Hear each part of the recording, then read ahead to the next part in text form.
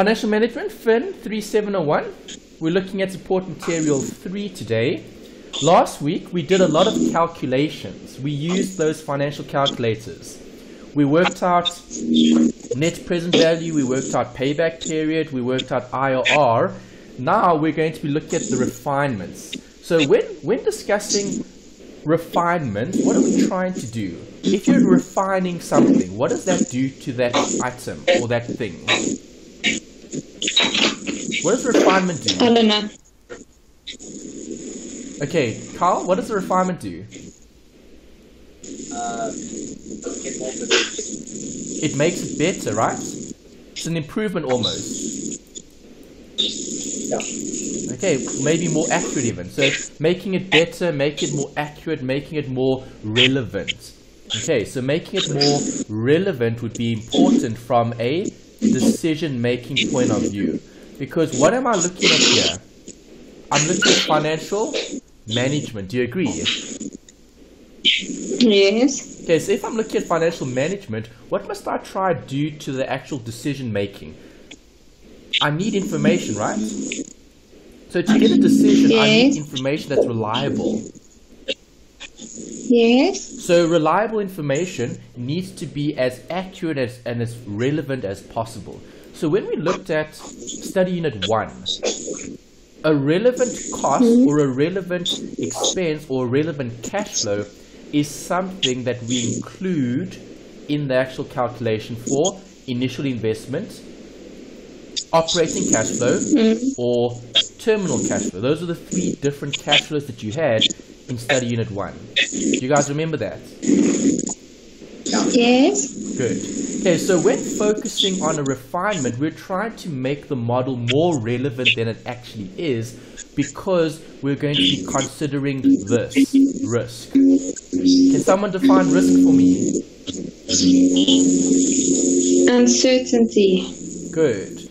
Okay, so if something is uncertain, there's going to be an element of risk.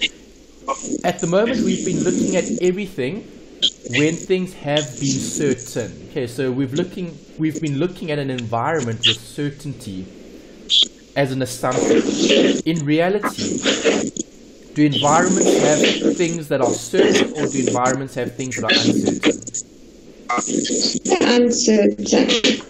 Uncertain, correct. Okay, so when looking at uncertainty, we're going to be focusing on things that we can do to the model to make the model more accurate, to make it more represent, uh, representative of things that we can't always predict or things that we can't always, um, let's say, measure reliably. Okay.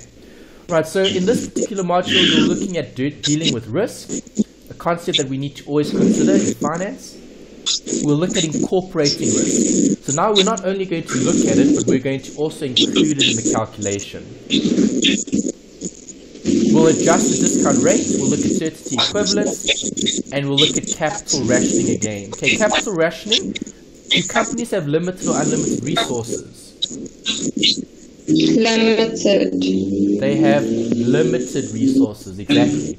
So we need to allocate those resources as appropriately as possible to find the best projects to accept. And do projects always have the same time frames attached to them?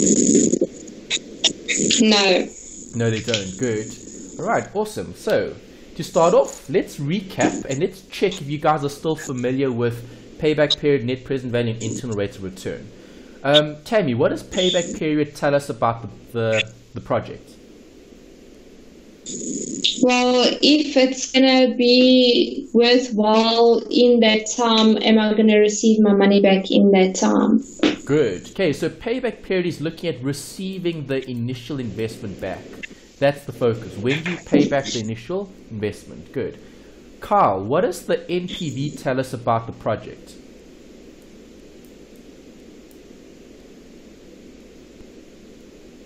That how much how much you put in.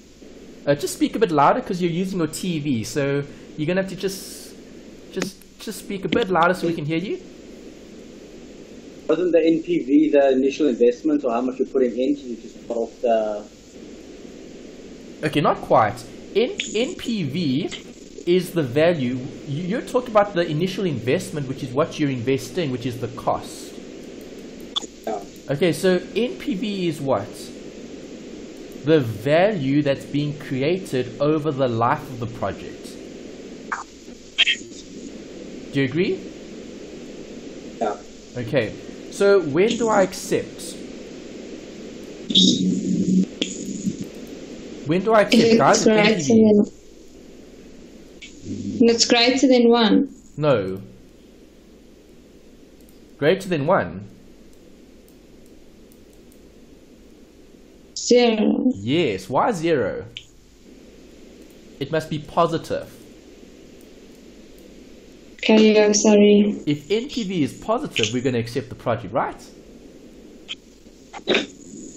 Why do we accept the project? Because it creates value. If NPV is positive, value is being created, we're going to accept the project. Make sense? Okay. Yes. Internal rate of return? What is that?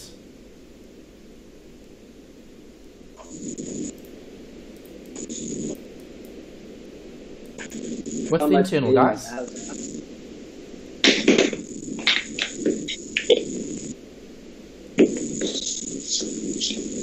Much you get back? How much you get back? Yeah. Okay, so with the internal rate of return, it's exactly what you get back. So if I start the project there and I end the project there, the IRR is the actual return that I get over the life of the project. What do I compare IRR to? Cash flows. No, I don't. Com- I don't compare this to cash flow. I compare it to what?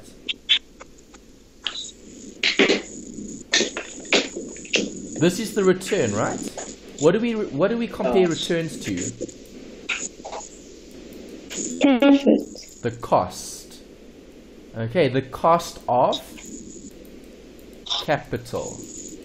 Okay, remember the decision criteria for um, IRR was what?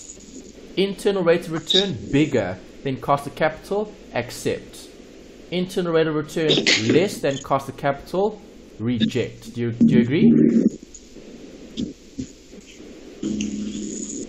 Do you guys agree? Yeah.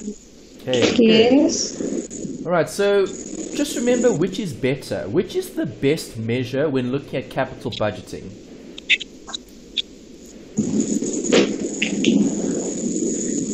NPV. NPV is the best. Why do we say NPV is the best? Because you get to discount all of the amounts, even if you have further amounts that need to be reinvested. So can I can I determine NPV if I have unconventional cash flow?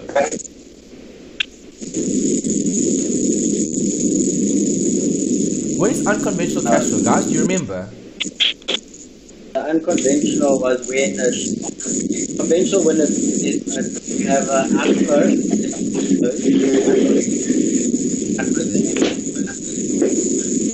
Okay, yeah. So, um, with with conventional, you you're on the right track. You you've described it in terms of cash flow. So, cash flow when it's conventional, you have outflow followed by a series of inflows. That's it. If you have unconventional cash flow, you'll have an outflow followed by a series of inflows and outflows. You'll have both. Yeah. Okay. Alright, um, maybe Carl, I know you're using the TV to um to to attend. Um, the laptop is probably closer to the TV, I assume, than than closer to you. Is that right? Because the microphone, if you if you can maybe if you can maybe get the microphone closer to you, um, we'll be able to hear you a bit clearer. It's, I can hear you, but it's very soft. It's not very loud. That's the only thing. Okay, so if you if you can, I know the the laptop probably near the TV, I guess, or the computer near, the, near the TV. If you can just get the microphone closer to you, we'll be able to hear you better. Okay. All right, guys, let's look at the next bit. Projects. Okay, tell me what is an independent project? Describe it. Well, if it has nothing to do with the other project, Exactly. So can I accept more than one? yes. Good. Okay, so with independent projects, A and B can be accepted. If I've got mutually exclusive, it's A or B. It's one or the other. So if I choose A, can I go with B? No. No. Right, B falls away. You eliminate B if they're mutually exclusive. So remember, independent projects you can accept more than one. Mutually exclusive, you cannot. You can only accept one. Make sense? Yes. Great. So, with risk and refinements, okay, in capital budgeting, what are we going to be focusing on? Is? Okay, is the project worthwhile? I heard that. So um, you're definitely going to consider the risk and the return. And in chapter 8 and 9, this, those are previous chapters that you've looked at before. Those chapters were focusing on this an assumption of certainty. Okay, so everything that we have, we know it's not going to change, it's not going to fluctuate. But in reality, what can we expect? We can expect risk. So if I'm expecting risk, are things going to change? Yes. Definitely. Things will change if you do have risk. So what impact will risk have on cash flow? The amount of risk determines how much risk you can. So risk is greater. Okay, I didn't get all of that. Um, Carl, just say that again. You said depending on the risk. I think the risk there is, people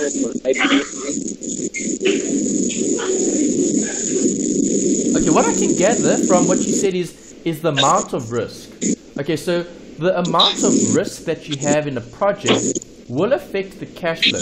If we're looking at how it affects the cash flow, so how will risk affect, affect the cash flow? Well, let's look at a timeline. Start and end. Okay, if I look at the start and the end, which are more predictable? The Start. The start. Why do you say start, Tammy? Because it's today, you know what to expect today. You don't know what's going to happen in the future. Exactly. Okay, so we can look at things today and we can then make an estimate for tomorrow or for the future. But are our estimates always mm-hmm. accurate? Well, in the beginning, maybe, but not in the end. Good. Okay, let's see. That's brilliant. Okay, so you're looking at time, right? So so now. Okay, so Tammy, is it going to rain today? Probably. Why do you say probably? You said that last week as well. Well, yeah, well, it looks like it's going to rain because of the cloud. Okay, so do you agree? If we're just forecasting for the day, it's easy to predict if it's going to rain or not because we just look at the weather. We look at the cloud cover, we look at the temperature, and so on, right? But if I asked you, is it going to rain next week? What are you going to say? Don't know. Exactly, we don't know. Okay, and the reason for that is cash flow or anything that is further in the future becomes more difficult to predict or more difficult to forecast and you can't establish an estimation. Okay, it's difficult to do so. And that's what you're looking at here with cash flow. So the point I'm trying to make here is impact on cash flow, right? The further in the future we go, the more uncertain those cash flows are going to be. Okay, so we can't estimate plus or minus in year 10 with the same amount of certainty for the let's say the initial investment. Okay, the initial investment. What's the certainty, or is the initial investment certain? Don't. The initial investment is 100% certain. Why? You know how much the project will cost you, right? So if you're buying a new project, if you're uh, or investing in a new project rather, or buying a new asset, okay, remember expansion, okay, or replace replacement or expansion. So if I'm going to be buying a new asset and replacing an old one, well, I know how much the new asset costs. Yes. I definitely will, and that's the initial investment. That's the INV. Is that right? Yeah. Yes. Great. So now we need to discuss this, the discounting. How is risk going to affect that? So obviously cash flow, the further in the future we go, the more unpredictable the cash flow is going to be. Okay, no one knows what cash flow you're going to have in year 5 or in year 6 or 7 or 8 because that's going too far into the future. Let's focus on this concept now, the discounting. What variable am I using to discount the cash flows? Cost. Cost, yes, which is representative by what? Initial right. investment. Initial investment, no. No, no, no. Cost. You're discounting the cost back in time. So what is that? The cost of capital. The rate, the cost. So in other words, the I. Okay, the rates. That's what you're using to discount, right? Okay, because what is discounting? It's time value of money. Do you agree? Yes. Okay, so if I'm using time value of money and I'm looking at discounting, am I moving things backwards or forwards? Back. I'm moving things back. So if I'm moving things back, I'm going to need a rate. I'm going to need an I, an interest rate. So that rate is dependent on what? In um, I don't know. Think about it. What would the rate be dependent on? Interest. You say interest. How is interest going to affect the rate? Just guessing. I'm just guessing. You're right.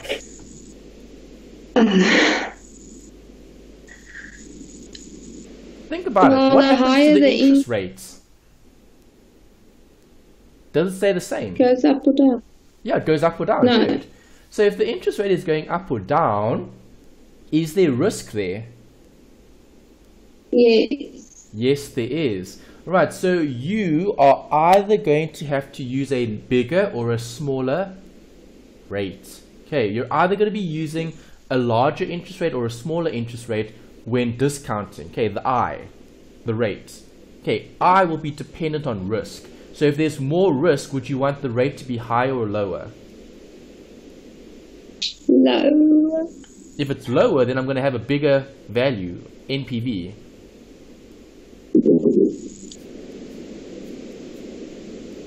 Higher or lower Okay. rates if there's more risk.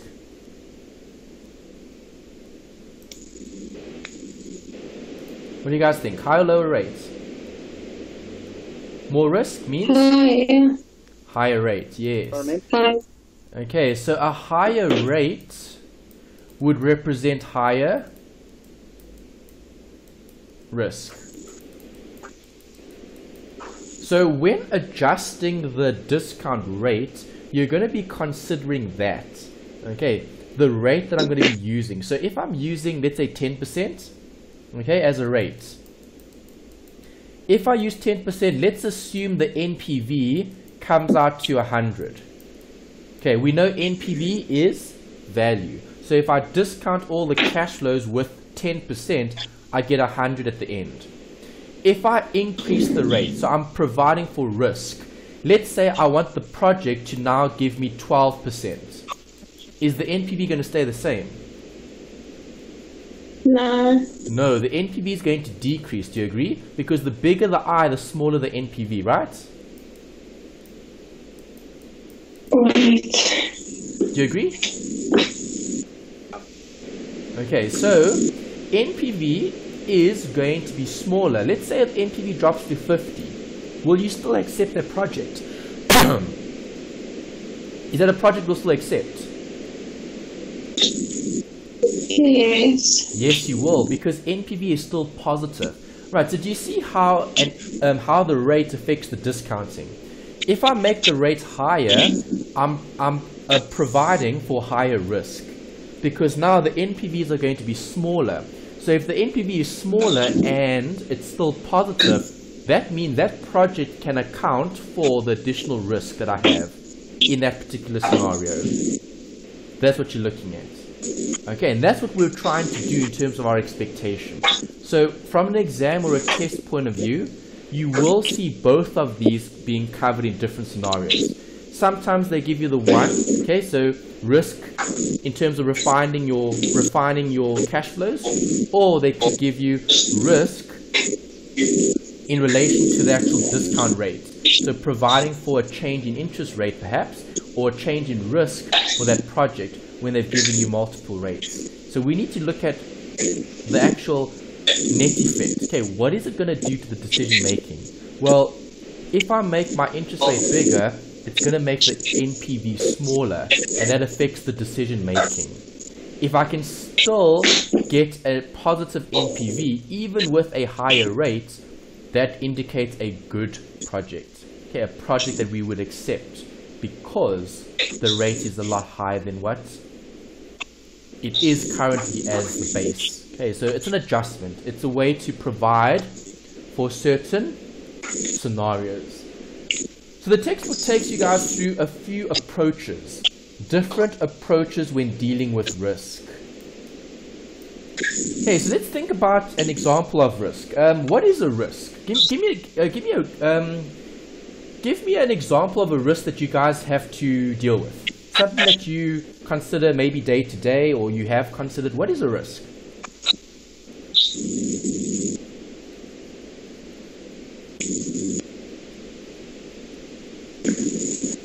Any Going out example? the door's a risk.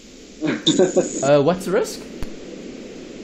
Going out the door. Going out. Okay, so going out is a risk. Why? Because we live in a country where people get hijacked and shot.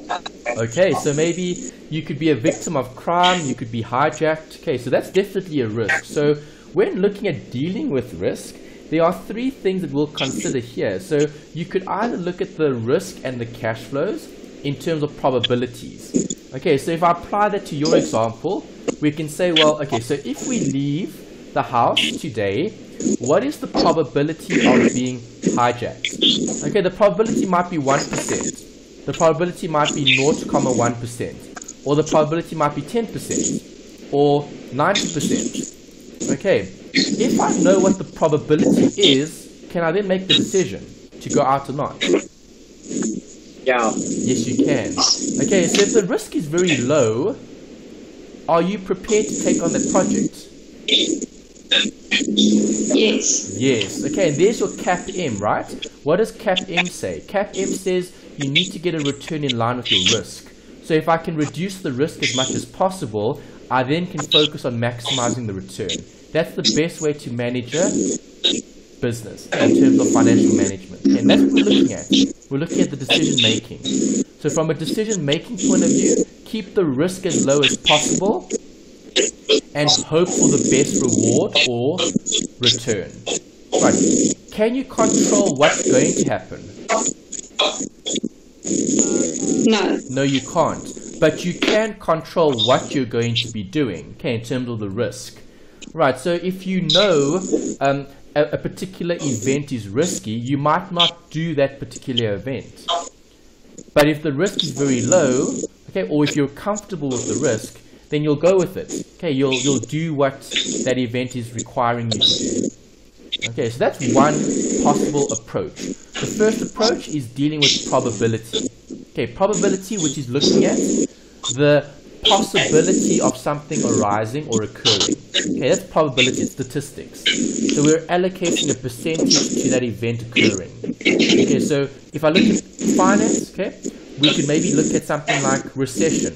What's the probability of the economy going into recession? That's something we could maybe discuss or consider as part of that approach. Okay, looking at the behavior. Why do we do certain things? We base it on probabilities. Okay, so when you make a decision, have you ever thought about that? When you guys make decisions day to day, it's always based on probabilities. Do you agree? So you think, well, if I do this, what's going to happen? Or if I do that, what's going to happen? And obviously, the the action that you believe will give the best benefit is the one you're more likely going to do.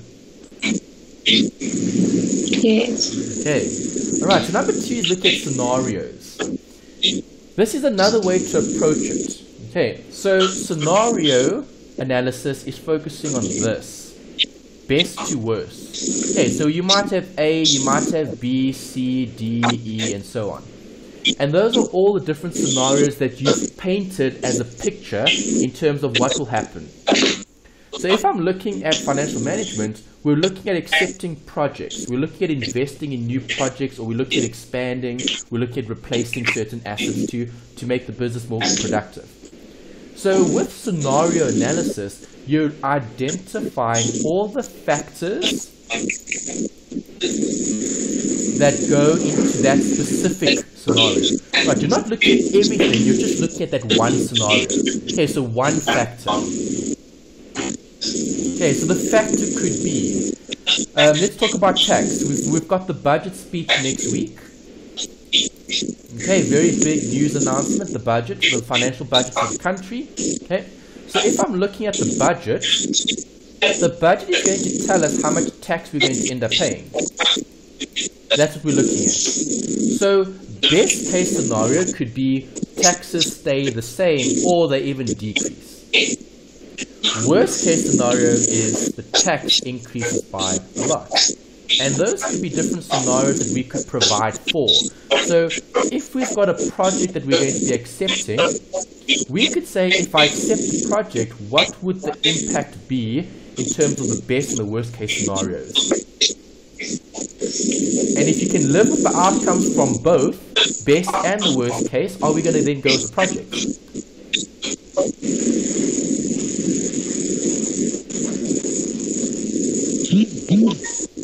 What do you guys think? Sorry, quickly repeat the question. Would you go with that particular project or um, let's say event or idea? It doesn't matter what it is. Okay, so are you going to go with the actual event if the best and worst case scenarios are best and worst case scenarios that you can live with, that you can, that you're not going to mind the consequences? Yes. Yes, you will. Right, so they normally say plan for the worst and hope for the best. Okay, so that's scenario analysis. Right, you've got the best case scenario and you've got the worst case scenario. If you're comfortable with the worst case scenario and you can still live with those consequences, well, then that's a really good project to go with. Because even in a worst case scenario, it can't be worse than that. It should hmm. only be better, hopefully. That's what we'll be hoping for, I guess. Does that make sense? Yes. Great. Right, and then the last one, which you guys aren't going to look at. Okay, so in this module, they can give you scenario analysis, they can give you risk and cash flows, but they won't give you simulation because that's multi-factors. Okay, there's something that I want to share with you in terms of this. Okay, Freakonomics is looking at statistics. Have any of you ever heard about that or read the book? There's a book and a film about it. No. No. No, no. No. No. Okay, so just to give you some background, statistics are very, very powerful.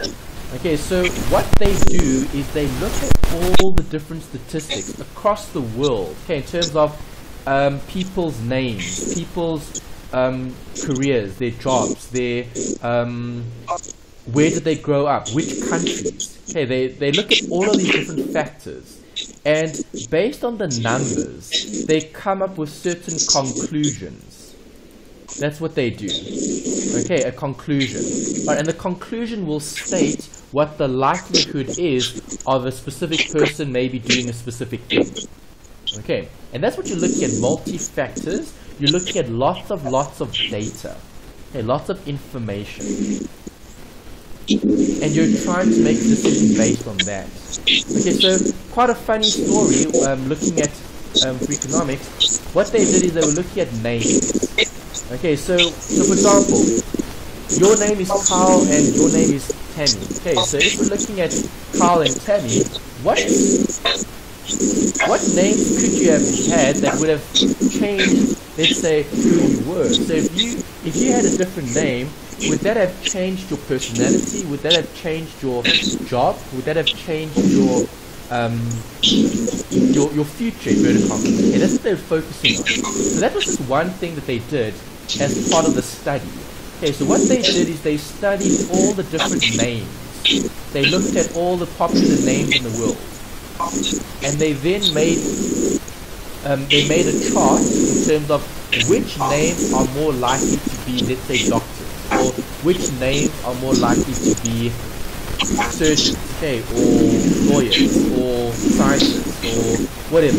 Okay, but that's what they were focusing on. And what they do there, they look at multiple factors. They're looking at the name, they're looking at where they grew up, they're looking at the country, they're looking at the age, they're looking at all sorts of different factors to come up with a recommendation.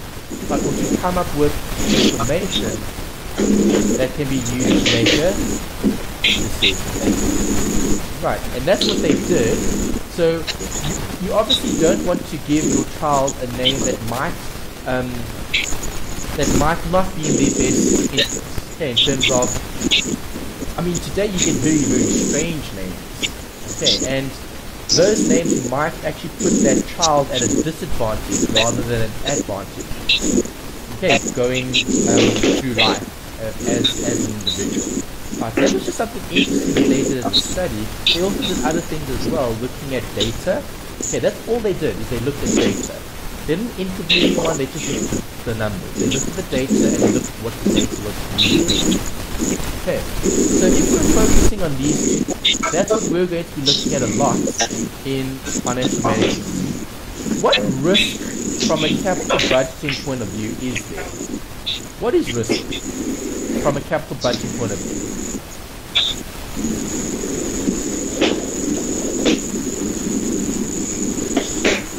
What's the risk, guys? Uh,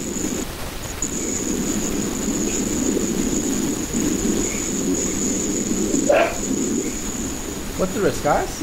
Think about it. Capital budgeting refers to what? First define that for me. What does that mean?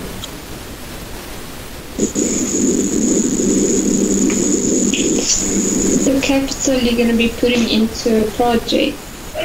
Correct. Okay, so budgeting is where you're allocating those funds. So if I'm allocating those funds to different projects, A, B, C, D, depending on what how many projects you've got. Okay, what is the risk then from a capital budget point of view? What's the uncertainty? Are you going to are you going to be allocating it to the right project? Possibly, okay, that could be a risk. So how are we going to be allocating that to the different projects? That, that could be a consideration. But think about what is risk from the actual budgeting point of view. If you do allocate funds to A, but A doesn't provide you with the return that you had expected, is that a risk? Yes. It is. Your, your company into deficit. it, it will, yeah, it will put your company um, in a deficit. Okay, so if we're focusing on internal and external factors, okay, risk from a capital budget point of view could be internal or external. So internal could be maybe you didn't allocate enough capital to that project. Okay, or maybe you you um, you've underestimated okay the the cost. Right so you haven't provided for the enough uh, you haven't provided enough for the cost that will arise for that particular project.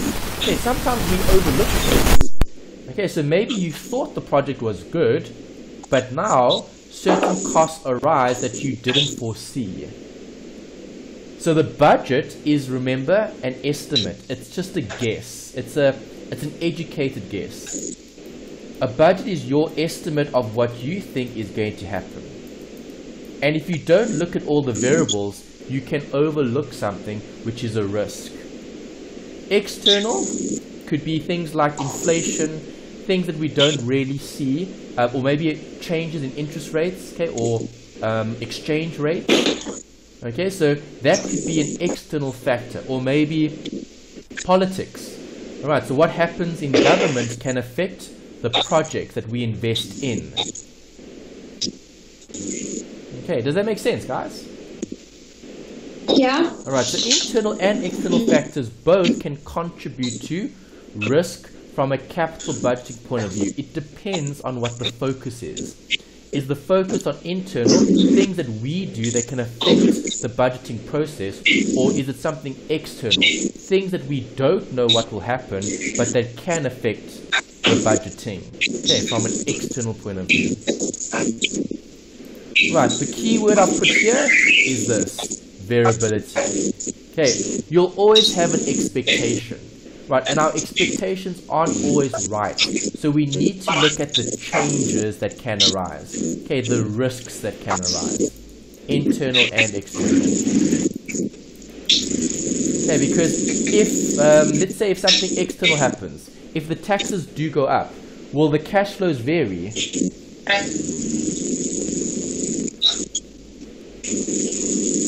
Will the cash flow vary if the taxes change? What do you guys think?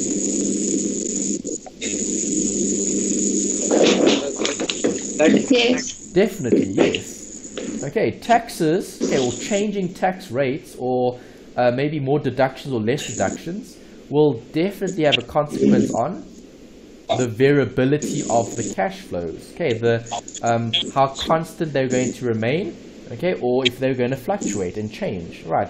So that's looking at cash flow as a focus, and we're obviously going to be looking at cash flow a lot because that's the only way they can really test the actual decision making is by asking you to work out the cash flows first, which is your initial investment, your OCF, and your TCF. And after having calculated those three, I then do a analysis, okay, in the form of NPV, payback period, and IRR. Okay, those are the ones that you've seen so far. And profitability index. So you did see that formula last week as well. Alright, so let's discuss risk and cash flows in more detail.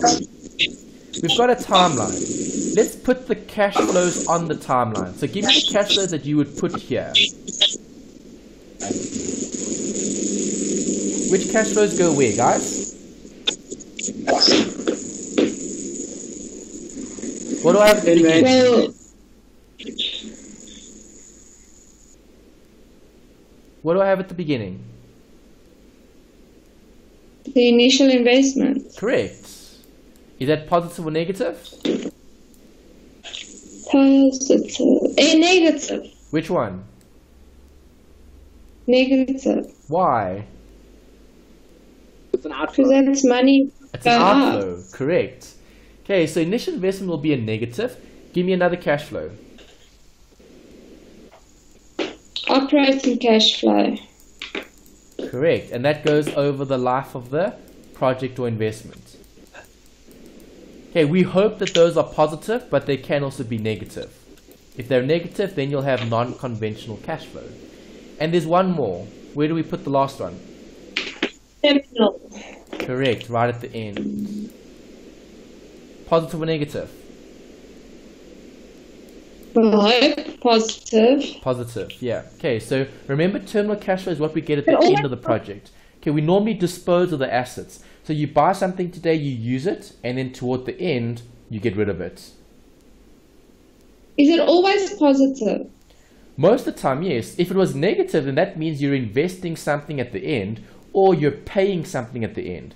Right, so it, it could be negative perhaps if you have to maybe, um, let's say, um, let's say uh, like cleaning up, for example. So if I'm going to be looking at mining, okay, if I'm if I'm a mine if I'm a mining company, right, mining companies obviously go in certain areas, okay, and they look for precious metals and so on. So a mining company might have to put the land back in a condition that it can be used for other things. So you can't just go uh, mine in certain areas without, let's say, um, I forget the right word to describe that, um, but you're you're like fixing. You're fixing what had gone wrong, okay, or what had created. It's it's like putting it back into its normal state.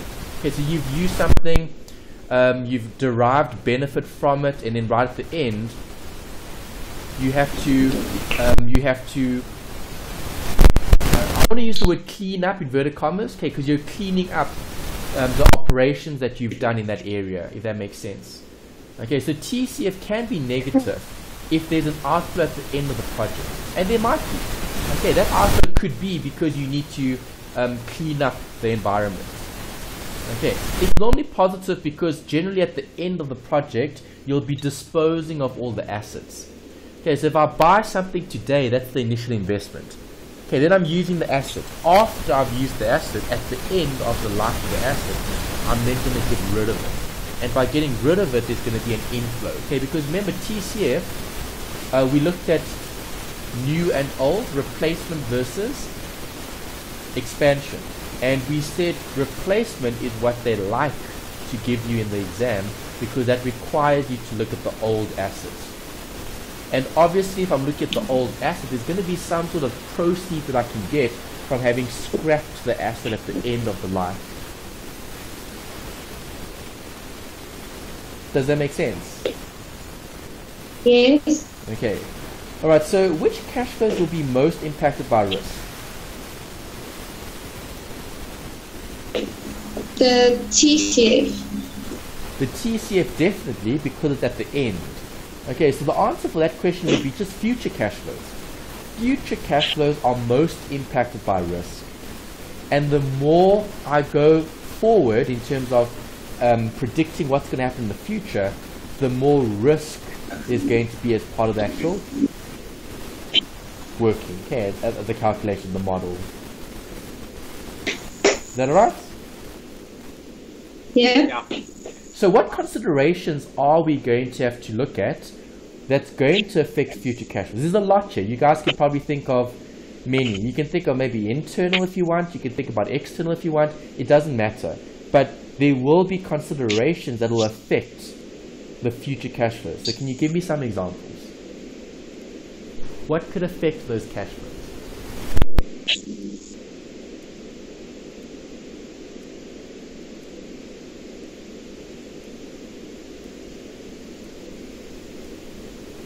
Anything, guys? What examples can you think of?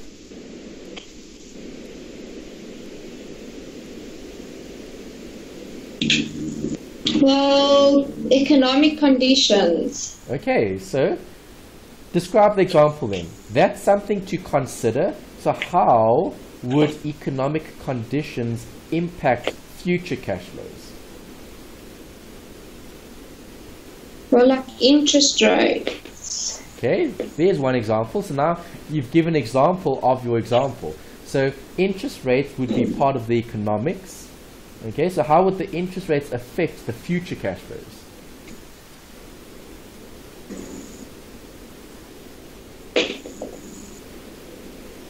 Well, the higher the interest rates, the lower the future inflow of cash. Okay, possibly that that that's something you could consider. So you could say, well, if there are higher interest rates in the future than there are now, Okay, higher rates in the future will give rise to a increase in expenses that I need to pay. So if that's an outflow, okay, you could assume that higher interest rates in the future would give rise to more, more outflows than inflows compared to today. Okay, so that's a good example. That's something that we could consider in terms of economics. Right, economics obviously covers a lot of different topics. You focused on the interest rate as being one of those topics. You could definitely motivate that as being a consideration for predicting future cash flows. Right, so our future cash flows could be either higher or lower depending on what the inflation rate or what the interest rate is currently at the moment. Okay, good. Alright, so here's your first calculation. Okay, we've got break-even cash flow. Right, so what is what does break-even mean? When you basically Yeah, when you break even means what? How, how do you know you've broken even? What equals what? Expense equals income. Correct. income equals expenses. Okay, so you haven't made a profit, you haven't made more, you haven't created more value. Alright, so if I look at company A, company A has a cost of capital of 10% and they're evaluating two mutually exclusive projects, X and Y. So if they're mutually exclusive, what does that mean? One or the other. Good. Can I choose X and Y? No. No. It's either X or Y. It's one or the other. So each requires 500,000 as an initial investment over a period of 15 years. What would the break-even cash flow be? What am I calculating, guys? Come think time value of money. We're applying that here.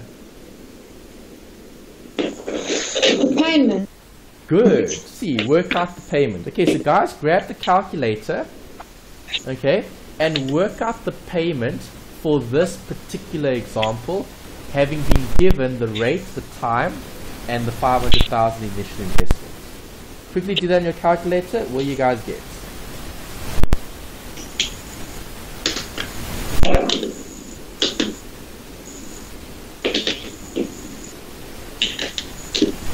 No, man, I can't get it.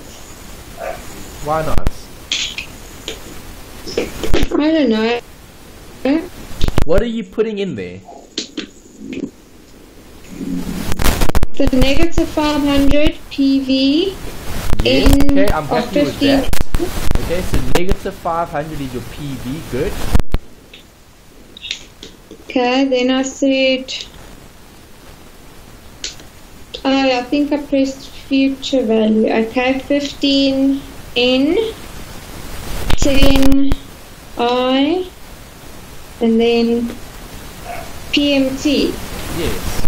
I get zero. No. Okay, Carl, what did you get?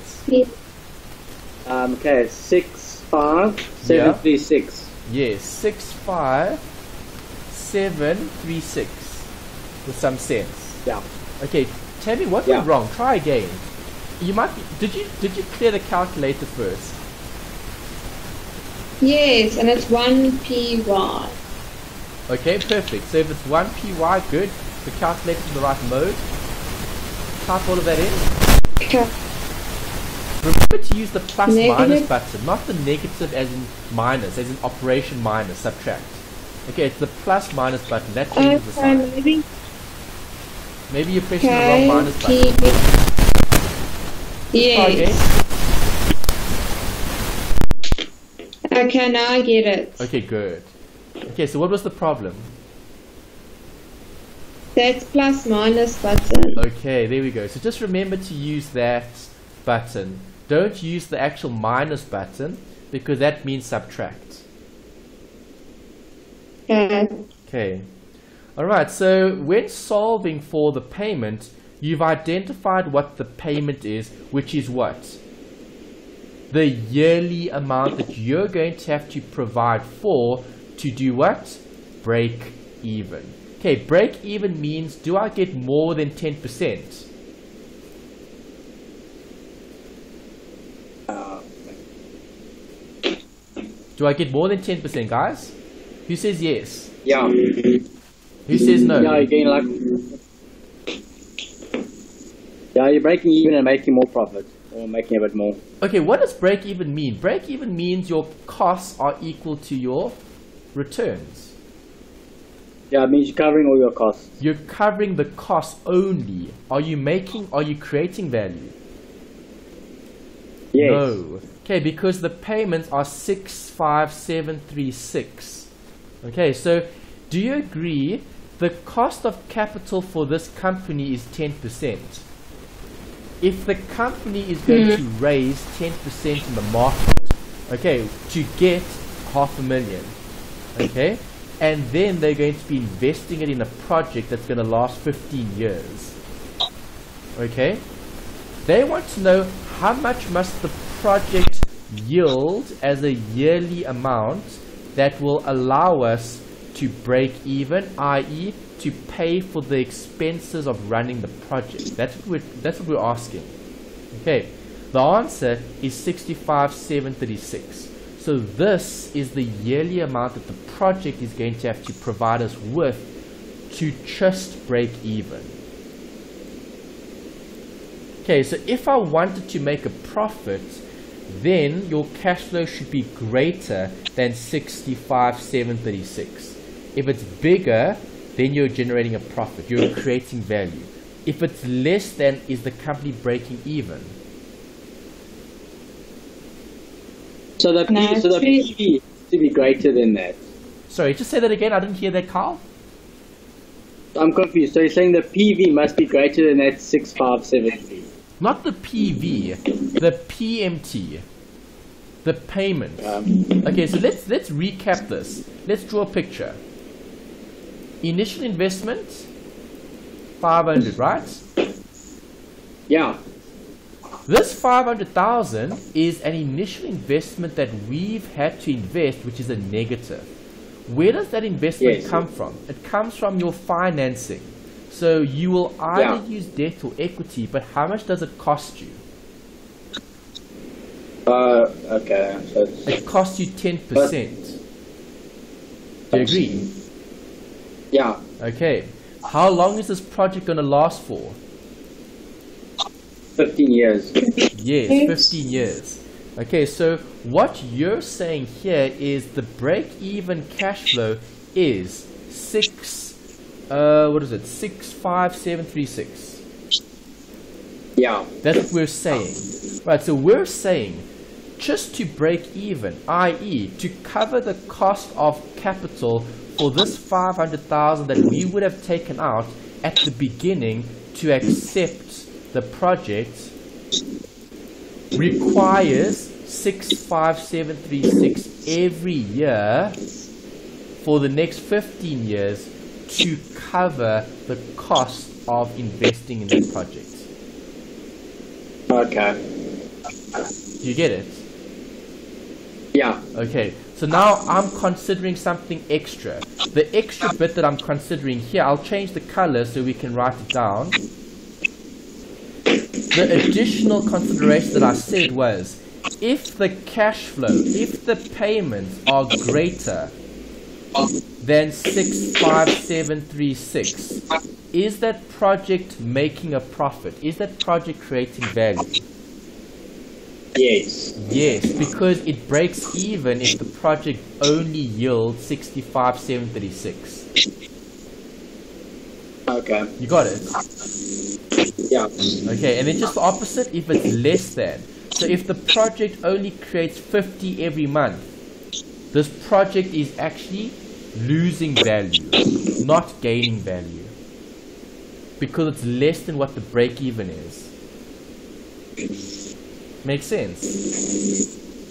Yeah. Okay, great. Okay, Carl, you're happy? Tammy, are you happy? I think so. Okay. Alright, so let's take that example one step further because remember we're looking at this. A refinement. So what is a refinement? It's how do we make it better. Okay, so now do you agree X and Y are offering the same amount in terms of break even? But which project am I going to accept? Well, I need to consider are they mutually exclusive or are they independent? Which are they? Independent, mutually exclusive. Okay, so they're mutually exclusive. So if it's mutually exclusive, is X different from Y? No, because they had the same break-even point. So it's difficult to consider which project is better. But this is risk. Okay, here is a consideration in terms of risk. So now I've given you some additional information. The company expects a 100% probability of receiving the cash flows from X, but only a 65% probability of receiving the cash flow from Y. So now, are these projects both equal from a capital budgeting perspective? No, Why not? Because the probability of receiving cash is not the same. Correct. So which project is more risky? The 65% one, X. No, not X. Y is riskier. Yeah, Y has the 65% probability. Yeah. Okay, the 100% probability is X. So remember, we're looking at certainty. Okay, so now can we make a decision? Can we choose X over Y? Yes. Yes, we can, Yes. because we know X has more certainty, i.e., it has lower risk. Y has higher risk. X, lower risk. Y, higher risk. And it's only because of this, the probability of receiving the cash flows. Okay, so we're not going to consider Y if we can consider X, which has more certainty. Okay, remember it's about reducing your risk and maximizing your return as much as you can. Make sense? Yeah. Great. Right, so how would I approach this if I had scenario analysis? Well, this is what you would do. I've given you guys two projects here. Now we're looking at project A and we're looking at project B. We're analyzing the cash flow for the different scenarios. Right, so how much do each each of the projects require as initial investment? 500. Correct. Are they both the same in terms of initial investment? Yes. Okay, Yeah. but A and B have different scenarios. Okay, so those are the three scenarios. Scenario 1, Scenario 2, and Scenario 3. Okay, so in a pessimistic type of scenario, A will still give us 75,000 as a cash flow. Scenario 2 is the most likely scenario, which means normal situation. Okay, so in a normal situation, A will give 100. And in an optimistic situation, they'll give 125. Right, if I look at B, B, most likely 100, pessimistic, nothing, and optimistic, 200. Okay, obviously we've spoken about range before. When we looked at um, FIN 2601, we looked at risk there in relation to cap M. And we spoke about range as being one measure of risk. So if I just look at range, which project would you consider to be more risky? B. Correct. B would be considered to be more risky because the range of values that you could possibly get are more spread apart. Happy with that? Okay. Make sense? Yeah. Okay, so if I'm Yeah. assuming Yes. 10% as the cost of capital, what is that representing? 10%. It's the financing. Do you agree? Uh, Sorry, please repeat the question. The 10%. Do you agree? The 10% represents cost of capital, which is the financing. Yeah. Okay. We've got a 15 year time horizon. We need to calculate the NPV according to the different outcomes. Okay, so when I substitute all of this into my calculator, what am I solving for? The NPV. Yes. And are the cash flows different or are they the same? different. They're the same for the different scenarios. So if the scenario is, if I'm looking at 75,000, that's my payment. That's my initial investment, right? What's my N? What's my N? 15. 15. What's my I?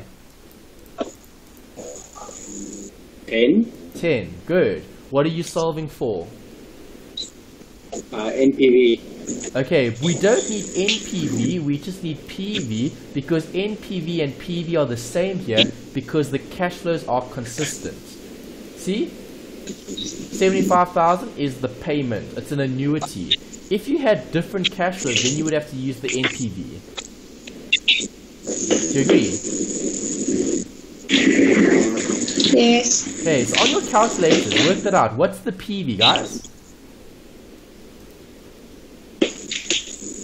I is 10, N is 15, initial investment 500, pessimistic 75. What's the PV?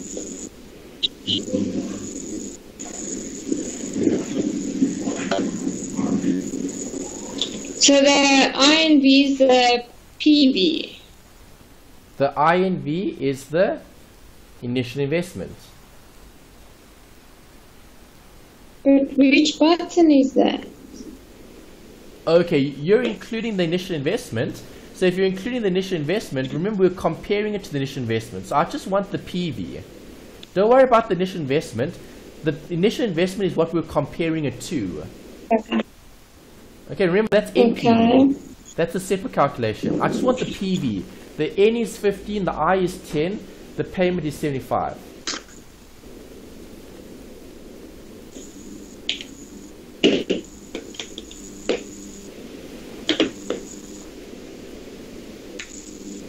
What do you get?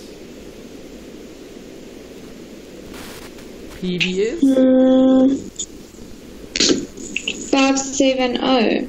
570. oh. Okay, let's check. Alright, so do you agree NPV equals present value of the future cash flows minus the initial investment? Do you agree? That's the formula you saw last week. Yes. Okay, what am I working out first? I'm working out this, the present value of the future cash flows. And what am I using? I'm using 10, 15, and 75. Alright, so if you type that into your calculator, N is 15, I is 10, payment minus 75, so I can get a, a plus, and you get 570. Good. So that is correct. Okay, 574.55. Did you get? Did you guys get that? Yeah. Good. Okay, so 574.55 is the present value of the cash flows. Then I minus the 500, which is the initial investment. So if you take a 500, what are you left? What are you left with? Seven zero seven seventy four Uh, five five. Correct. 17455 or 456. There's it. Okay, so now you've worked out the the NPV according to the pessimistic view. Right, and I've done a few others as well. I've done this one for you. I've done that one for you. I've done that one for you. This is scenario analysis. I want you guys to do this one. Optimistic. Can you find NPV for those two? Okay, we just did one together. I showed you how to get the pessimistic 70456. Do you agree? Yeah. Okay, so I want you to find the NPV for optimistic. What are those two amounts? Using the information you had here. Okay, try that guys. I'll give you some time. Just quickly go. Okay, you've got two to do, hey? You guys had to do the optimistic NPV for A and the optimistic NPV for B. Okay, so we've got one answer so far. Quickly do the next one as well. See if you guys can get B, and then we'll check both.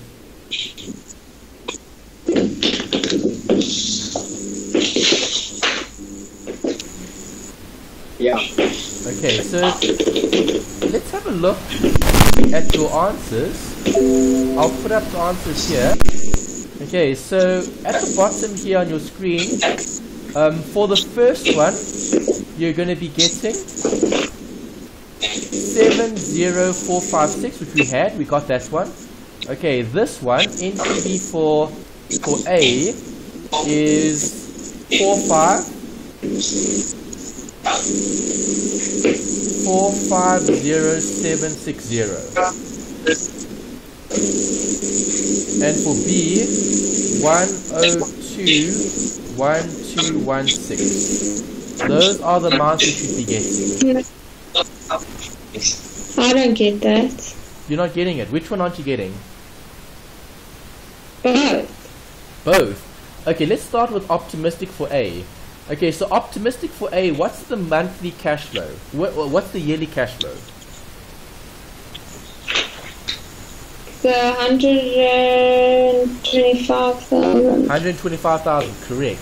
Okay, so on your calculator, you're putting in 125 as the payment. Your N is 15, your. I is 10. Solve for the PV. What do you get? Must I put the payment in as negative? The payment, if, if the payment's in as negative, then your answer will come out as positive. It doesn't matter. It's just the number that we want. The amount that I want is this one, 950760.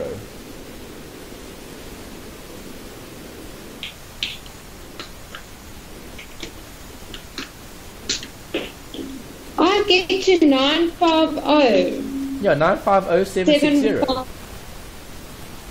Seven- Yes. Okay, there you go. That's the first step. Then what do you do? You need to take off the initial investment. So if you minus 500,000 Yeah. from that, do you get 450760?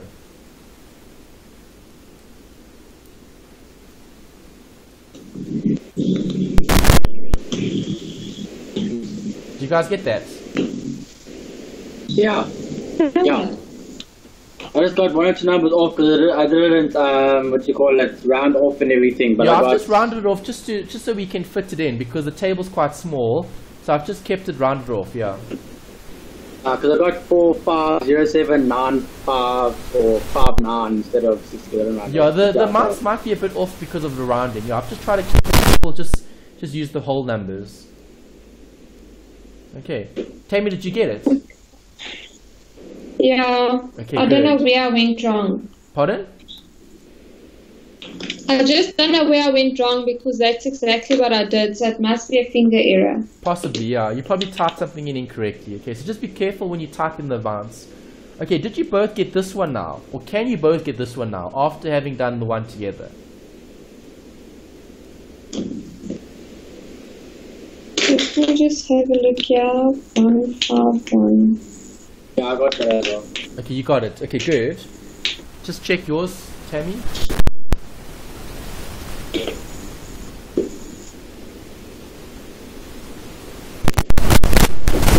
Yes. Got eh? Yes. Good. Okay, so that's looking at what? Scenario analysis. Okay. Alright, simulta- uh, sim- simulation isn't something that you guys are going to have to worry about, so don't stress about this. Um, if you guys have done some of the stats modules um, from UNISA, um, STA 1501, 1502, they cover things like the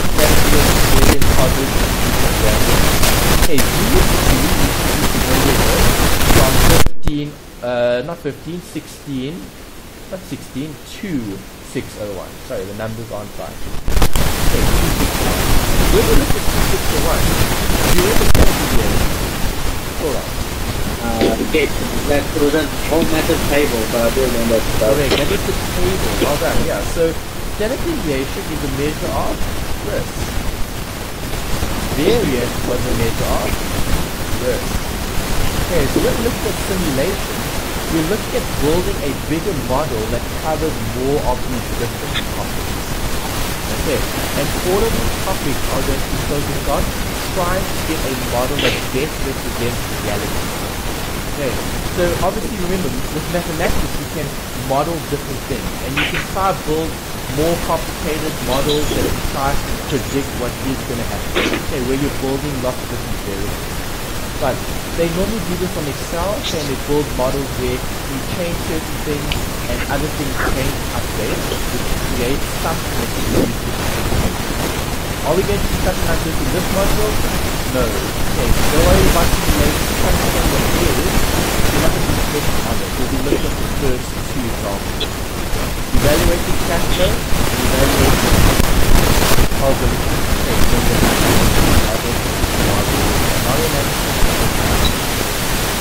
but don't worry about international considerations. This is just an additional note that I've included on the slides for discussion. Do exchange rates stay the same? No. They can change. So when exchange rates change, so can the cash flow. Okay, because think about it. Which companies are going to have to consider their changes in cash flow? If they're looking at exchange rates. Local, international. International. Correct. Okay, so if we look at imports and exports, or inputs and outputs, there could be certain risks that we need to consider here. And hedging is a way to help manage or reduce the exchange rate risk. Hedging is a way to try to fix or to keep the rates the same to avoid this becoming a risk as part of our calculation. Something else? Political risk. Politics can affect business and that will affect the consideration in terms of doing business in a global context. Okay, so think like, I mean, think about the US at the moment. Okay, obviously we've got a new president in the US, right? And do you think the US's policies in terms of the pol- the political situation would US poli- policies affect other countries? Yes. It can, right? And that's something. Right. So how do we factor these capital budget? Can I measure risk? No. Can I measure political risk? No. How do I measure exchange rate capital budget? By quantifying it.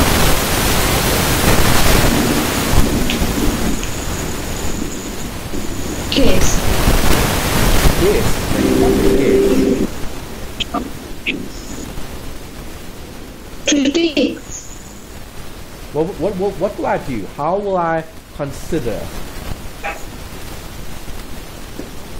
Well, I must consider the effect that the economy is going to take because, I mean, like with the Trump thing, the dollar's been very uncertain. So you don't know if it's going to go up or go down, or so if you invest and then it goes down, you start losing money and all that. Okay, that's that's good. You guys are taking it very far in terms of what you could possibly do. Let's keep it simple.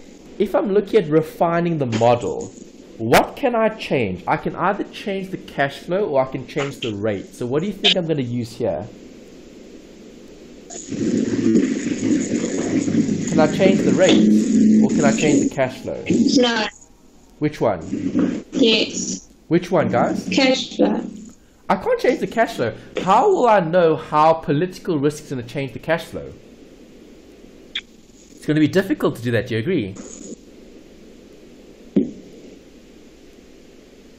Do you agree? But you can't change the. I can change the rate. I can provide for more risk as part of the rates. Okay. And that's why we can build certain things that aren't measurable. Okay, explicitly measurable, like political risk, like exchange rate risk. And you could look at this, a risk adjusted discount rate. Okay, so when adjusting the discount rate, what am I doing? I'm looking at our expectation. Okay, so let's look at a scenario. If we are going to be operating in another country, okay, let's take two examples. Let's talk about um, a country that's more developed versus a country that's more developing. Okay, so the, the example that I'd like to use here is if we had to if we had to operate in Zimbabwe, are we going to adjust the rate? Yes. Is it more risky or less risky to operate in Zimbabwe? More risky. It's more risky. So will you increase or decrease the rates? Increase. You'll increase the rate, exactly. Okay, we spoke about this a bit earlier when we, we talked about a higher rate represents higher risk. Right, so countries or even politics, okay, any risk, it doesn't matter what, you can provide for more risk in your risk adjusted discount rate. And what is that going to affect? Higher risk, higher RADR. So if I have a higher I, what is that going to do to my NPV? I get lower. Yes, good. Okay, so if the interest rate is higher, the NPV will be Lower. Lower. Okay, the RADR. We're looking at a risk adjusted discount rate, the RADR. Okay, so if I make the risk adjusted discount rate bigger, am I providing for more risk?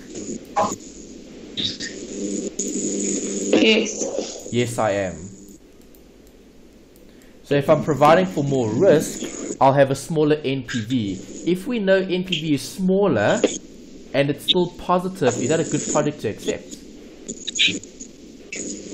Yes. Yes, it would be. Okay, so do you see how we're building in more risk by adjusting the discount rates? Yeah.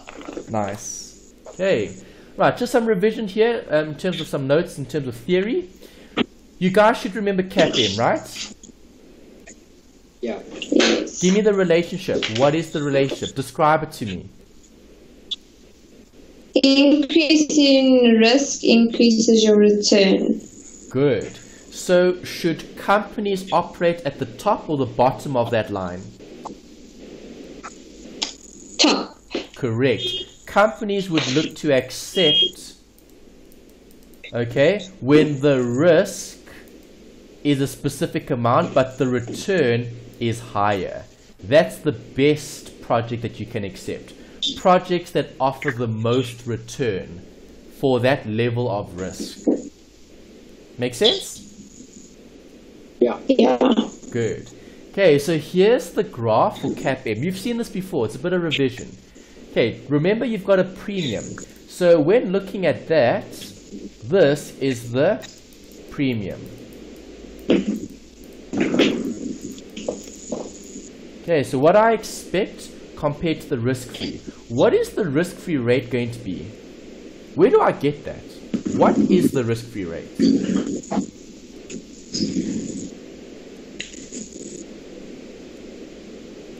Well, where you guaranteed not to make a loss. Okay, where you're guaranteed to get a return without risk. So, what assets do we consider risk free? Cash. Okay, so treasury bills, T bills, bonds, short term bonds, okay, NCDs. Okay, when we looked at bonds, okay, we spoke about bonds that are risky and bonds that aren't. So when looking at risk-free, we're looking at the rate that's attributable to assets that don't lose value, okay, and that will always gain value. Okay, so think about savings. If you put money in the bank as a saving um, or as savings in terms of a savings account, is there any risk of you losing that money? No. No, unless the entire bank goes bankrupt, then you'll lose everything. But the cash that you put in the savings account would be considered risk free. Okay, risk free is just a term that the financial managers refer to as the amount that we'll receive that doesn't require any risk. Okay, so if I am taking on more risk, what's going to happen to the return? Increase. It's going to increase, exactly. Right, so there's your CAPM equation. You've seen this before. Okay, when looking at non-diversifiable systematic or beta risk, this is looking at the market risk. And that's why we've got that there. KM is the market. Okay, what does RF stand for? Risk free. Correct. Okay, so how do we apply the decision criteria? What do we do? What are we comparing against required rate of return?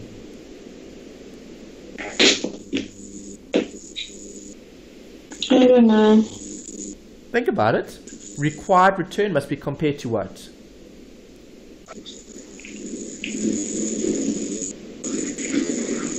To the rate of return. To the expected return or to the internal rate of return. Okay, so you're comparing the required return to your IRR or to your expected return. Okay, so what you're requiring versus what you're getting. Does that make sense? Yeah. Okay, so there's the diagram. There's capital, the capital asset pricing model. How does this affect budgeting? Well, with budgeting, I accept when I'm above and I reject when I'm below because we're looking at risk to reward. Okay, so you want your risk and reward to be as big as possible. Right, so at any level of risk, it doesn't matter where I am. Okay, I can have high risk or I can have low risk. But I need to be finding projects that offer more reward to risk. Projects that offer a return that's greater than what I should just be getting in terms of required. Okay, so this line over here refers to the required return.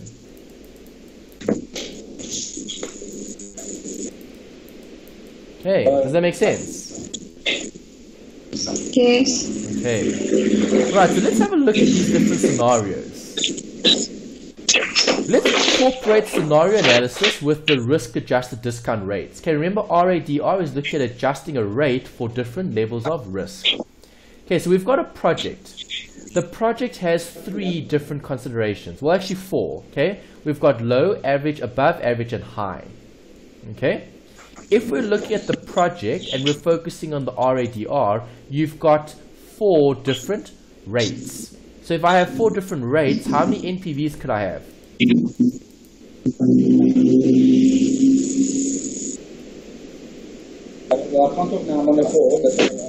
Yeah, you'll have four NPVs. Do you agree? You'll have one NPV at 8%, you'll have one NPV at 11%, you'll have one NPV at 17 and you'll have another NPV at 25. Do you agree? Okay, which NPV is going to be the smallest? Low. Low. Low or high? Low. No. If you use a small rate, the NPV is going to be very big or small? Uh, very big. big. And if you use a very big interest rate, your NPV is going to be Small. correct. Okay, smaller. All right, so looking at that, when are we going to accept or reject? When the NPV is below zero. No, below. Below zero or above zero? That's what I said. Below. Below or above? Well, it has to be positive, so it Yes. must be. Sorry, I'm getting confused. NPV must be greater than zero to accept the project. So it doesn't matter what rate I use. I can use 8%, 11%, 17%, 25%, it makes no difference. As long as the NPV is positive, I'll accept the project. So if I look at this, if the project is considered to be high risk, okay, and I calculate an NPV, and the NPV is still positive, will I accept this project? Yes. Yes, you will. Okay, because now, even with a higher risk, you're still getting value from the project. Does that make sense? Yes. Okay, so how do we apply the above to a capital budgeting decision? We're calculating multiple NPVs to make a decision. Okay, alright, then a note over here about refinements. Is it fair to compare projects with unequal lives? Yes. Really, is it fair to compare unequal lives? No, not really, because one always might be a lot different than the other. Yes, okay, the answer is no. It's not fair to compare these two projects. So have a look at these two. I've got X and Y. Which project is better? We don't know. We need to calculate, right? Yeah. Okay, so do the periods have to be the same? They should be. Can we refine the calculations? Yes, we can. Right, so step number one, guys. Use the calculator's cash function. Okay, so either the CF on the HP or the cash mode on the on the Casio. I want you guys to give me an NPV for X and an NPV for Y. What are the answers for those two?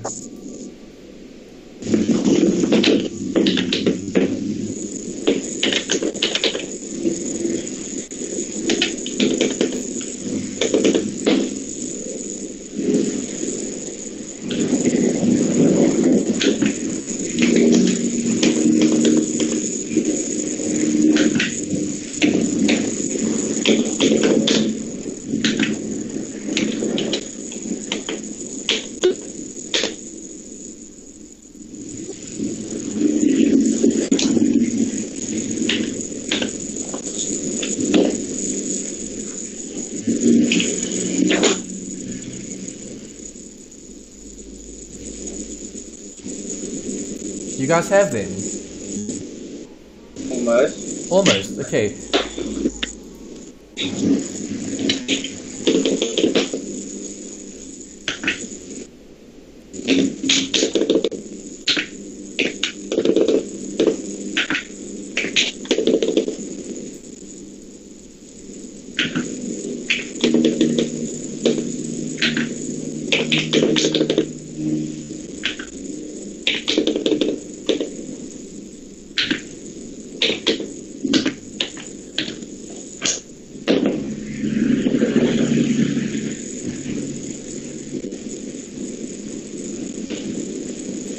Answers, guys?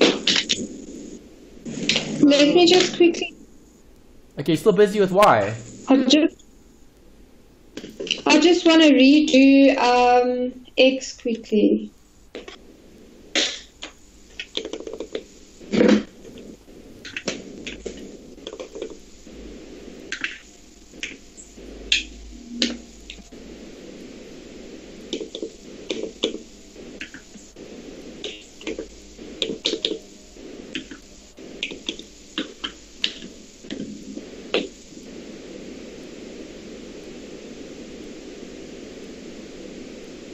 Okay. Alright, so what did you get for X, Tammy? One five one two seven seven two point three five. Okay, and what did you get for Y, Carl? Um, one nine zero one three two. Okay. Yes. Well done, guys. So 112772 and 190133. Those are the two answers. Okay, there, there, there. X and Y. Guys happy? Yeah. No, wait. Where? 112772. 190133.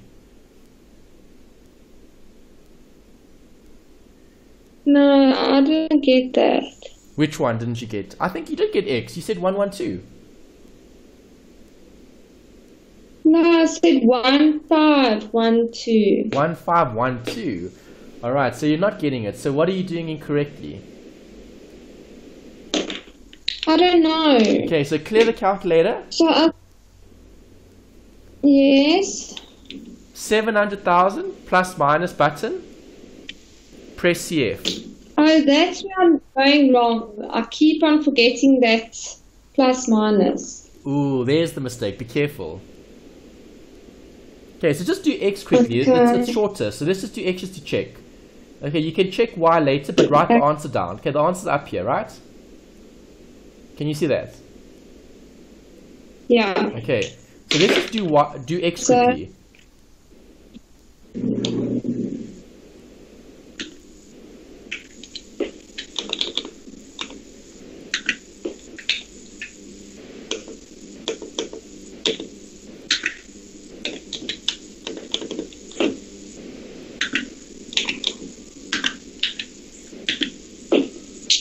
Um, one one two seven seven two. Okay. Okay, alright, good. Okay, so both of you are comfortable getting the NPV, that's great. Right, the next bit we need to discuss is this. Can we now look at an annual cash flow? Because remember, those projects had different lives. Right, so X had how many years? Three. And Y? Six. No.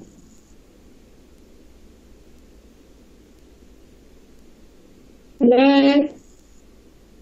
Yes. Are you guys still there? Yeah. Okay. Lost you. Okay, X. X had three, Y had six years, right? Mm. Three years for X, six years for Y. Is it fair to compare the two projects? No. Okay, so what must I do? I need to annualize the amounts. Right, and this is what we do. So this is new. Okay, what am I going to do for X? Well, what was the NPV? There's it. So for project X, what am I going to do? I'm going to take the net present value and I'm going to apportion it for how many years? Three years. And I'm solving for the payment. Because what does the payment do? The payment takes the amount and it splits it over a period of time. Is that alright? Uh-huh. That's how you work out your annualized NPV. So this amount is the annualized NPV. Is that alright?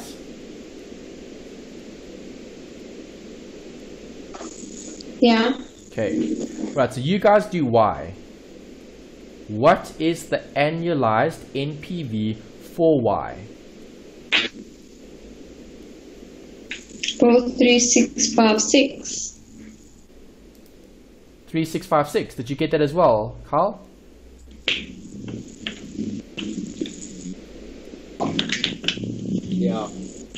Okay, let's check if you guys are right. No. Okay. This is the NPV, annualized NPV. How many years did Y have?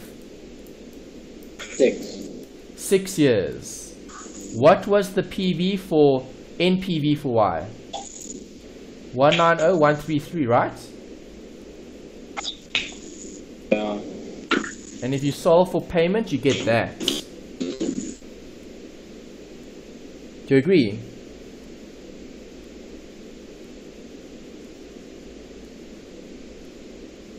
Guys, do you agree?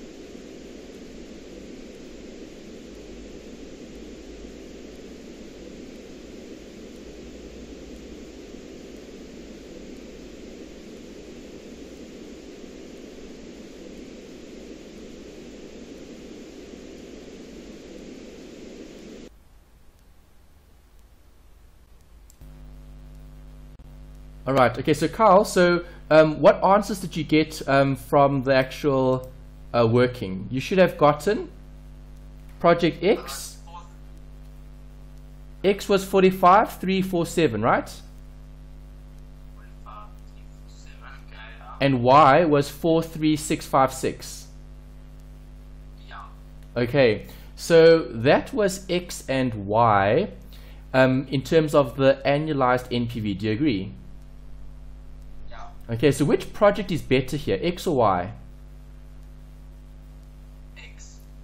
X is better than Y based on the annual amount because it generates more each year. So X is a, X is a shorter project. It was only three years long. Y was a six-year project. Okay, you can see X is a lot better than Y. Yeah. All right, but when we looked at NPV, so if you go back, our NPV for X and Y, it was slightly different. Okay, here we had Y with a bigger NPV and X with a smaller NPV, but that was for the total duration of the project. Okay, so in, in terms of total, okay, so the absolute amount that the project yields, Y is better over the full duration of the project, X is better on a year by year basis. Is that right? Yeah. Okay. All right, so when looking at the last bit on slide 22, there's a note here about strategic factors. Okay, they don't ask about strategic factors in the exam, but they do test the capital rationing. So do you remember what capital rationing is? Um, isn't it basically putting some, not putting all of it, but putting some down and then saying something for other projects in case it comes up?